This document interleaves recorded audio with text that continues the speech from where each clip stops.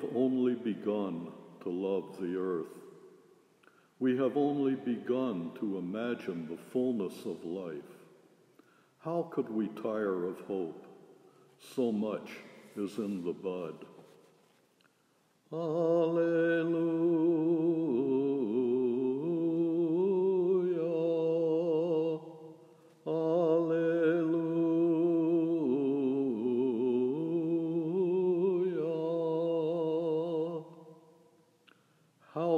Desire fail?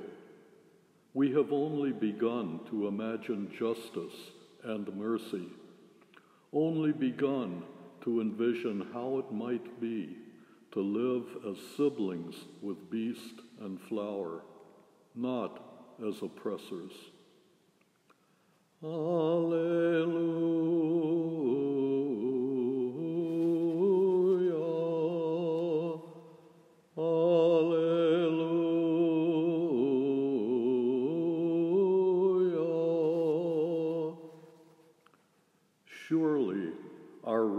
Cannot already be hastening into the sea of non being. Surely it cannot drag in the silt all that is innocent.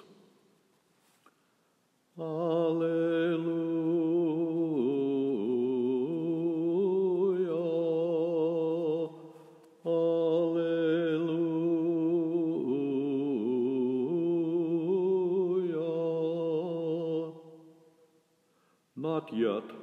Not yet. There is too much broken that must be mended, too much hurt that we have done to each other that cannot yet be forgiven. Alleluia.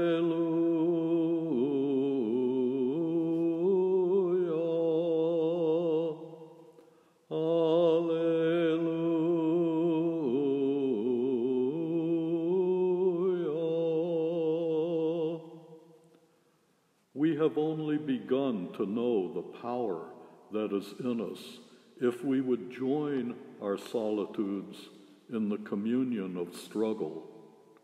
So much is unfolding that must complete its gesture. So much is in bud. Alleluia.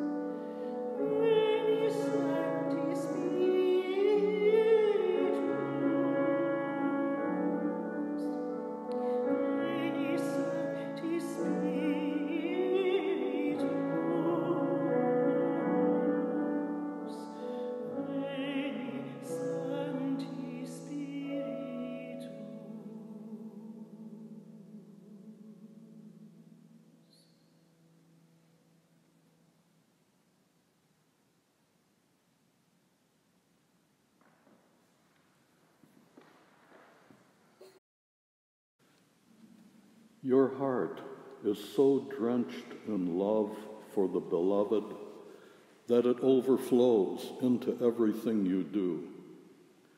You are incapable of making distinctions between the sacred and the profane. Each act has become an act of prayer. When you ask your mother for a drink of water, you are begging the Holy One for a glimpse of his face. When she hands you the cup and you thank her, you are praising the God of love for quenching your spiritual yearning. Stirring the oatmeal, you are preparing an offering for the divine. Reorganizing the closet, you are cleansing your heart so that the Holy One may find refuge in you. In the past, you strove to be perfect. You kept a list of, list of tasks you considered to be worthy, and another you dismissed as selfish. You developed a rating system and judged yourself according to the results. Now you wash dishes for God.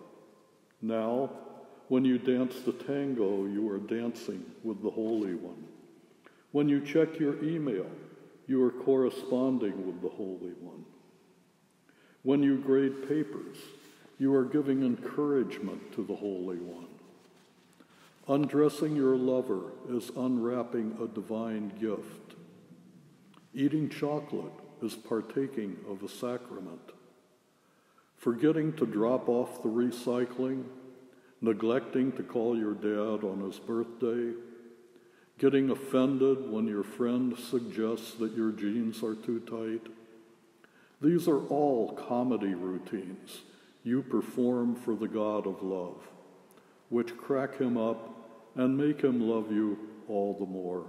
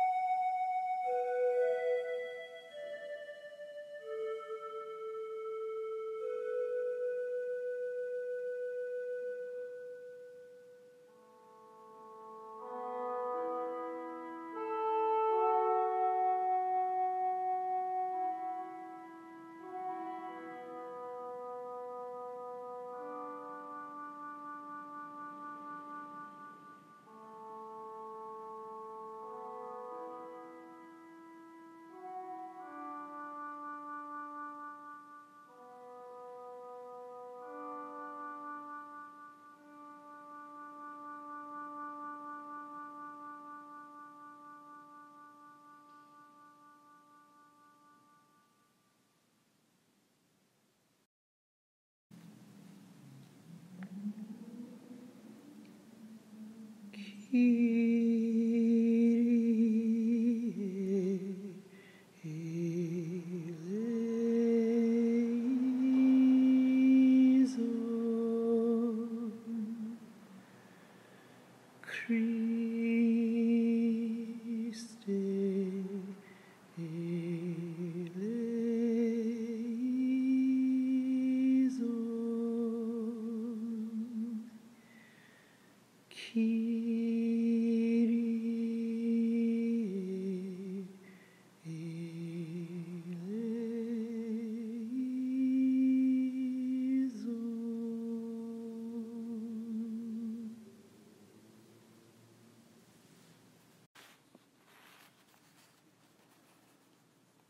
For the darkness of waiting, of not knowing what is to come, of staying ready and quiet and attentive.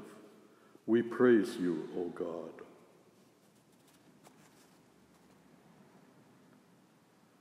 For the darkness of staying silent, for the terror of having nothing to say, and for the greater terror of needing to say nothing. We praise you, O God. For the darkness of loving, in which it is safe to surrender, to let go of our self protection, and to stop holding back our desire, we praise you, O God. For the darkness of choosing, when you give us the moment to speak and act and change, and we cannot know what we have set in motion, but we still have to take the risk. We praise you, O God. For the darkness of hoping in a world which longs for you, for the wrestling and laboring of all creation for wholeness and justice and freedom. We praise you, O God.